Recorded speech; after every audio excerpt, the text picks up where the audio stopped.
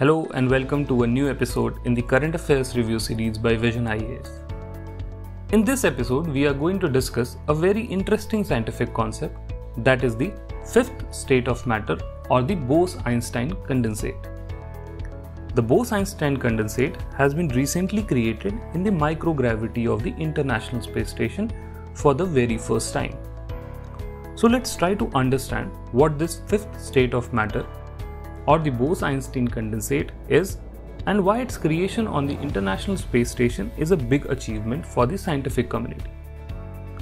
So, in our daily life, we generally interact with three states of matter the solid, liquid, and gas. The fourth state or plasma is a high energy state and it occurs in high energy processes like during lightning or at the core of a star.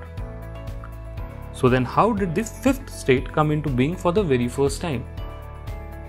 In 1920, Indian physicist Satyendra Nath Bose did some calculations for the existence of a fifth state of matter. Building on his calculations, Albert Einstein predicted a new state of matter, which eventually came to be known as the Bose Einstein condensate. However, till this point of time, it was only at a theoretical stage. It was only in 1995 that two scientists, Cornell and Wieman, finally created this condensate.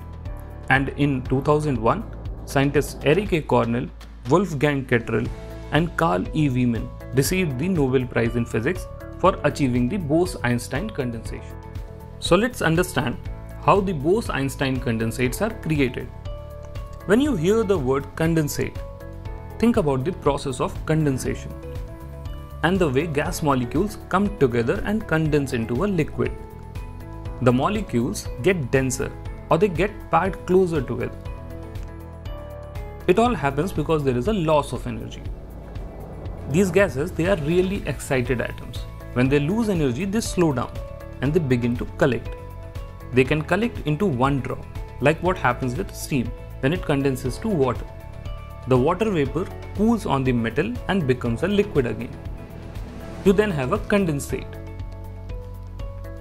The same thing happens with the Bose-Einstein condensate, but it happens at super low temperatures, at temperatures that are near absolute zero or the zero Kelvin. When you get to a temperature near absolute zero, something special happens. At zero Kelvin, all molecular motion stops. Atoms begin to clump and they lose all their energy. Since there is no more energy to transfer, all of the atoms have exactly the same levels. They act like twins. The result of this clumping is the Bose-Einstein condensate. The group of atoms sit in the same place creating a superatom. There are no longer thousands of separate atoms, they all take on the same qualities. At this point, the atoms become a single entity with quantum properties, wherein each particle also functions as a wave of matter. So, in essence, the Bose-Einstein condensate is formed by cooling a gas of extremely low density to super low temperatures. To temperatures near absolute zero or the 0 Kelvin or minus 273 degrees Celsius.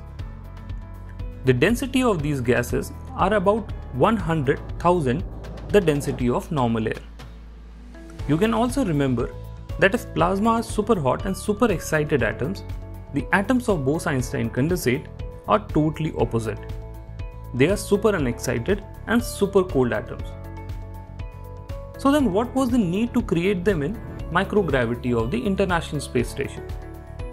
The Bose-Einstein condensates they straddle the line between the macroscopic world that is governed by forces such as gravity and the microscopic plane ruled by quantum mechanics. Due to which these condensates offer fundamental insights into quantum mechanics as well. But their measurement is distorted due to the effect of gravity on Earth. The Bose-Einstein condensates are extremely fragile and slightest interaction with external world warms them past their condensation threshold. This makes their study nearly impossible on Earth, where the gravity also interferes with the magnetic fields that are required to hold them in place for observation. Due to these limitations, NASA launched a cold atoms lab to the International Space Station in 2018. The creation of Bose-Einstein condensates on the International Space Station will make the study of its properties easier. It was observed that the condensates in the microgravity of the International Space Station can be observed and measured longer than that on Earth. On Earth, the observation is possible for tens of milliseconds, while on the International Space Station, it increased to just over a second. So, what makes the Bose Einstein condensates interesting for the scientific studies? The Bose Einstein condensates are related to two remarkable low temperature phenomena. The first one is superfluidity, in which the Bose Einstein condensates flow with zero friction, and the second is superconductivity, in which the electrons move through a material with zero electrical resistance. Experts also believe that the Bose Einstein condensate contain vital clues to the mysterious phenomena such as dark energy. The experiments on the International Space Station will help us in tests of general relativity, searches for dark energy and gravitational waves, better navigation of spacecrafts, study of quantum mechanics on a macroscopic level, and also it will help us in prospecting for the subsurface minerals on moon and other planetary bodies. So this has been our discussion on the fifth state of matter or the Bose-Einstein condensate.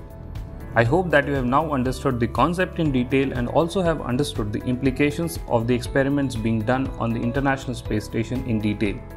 In the next episode of Current Affairs Review series, we'll take yet another important current affairs topic.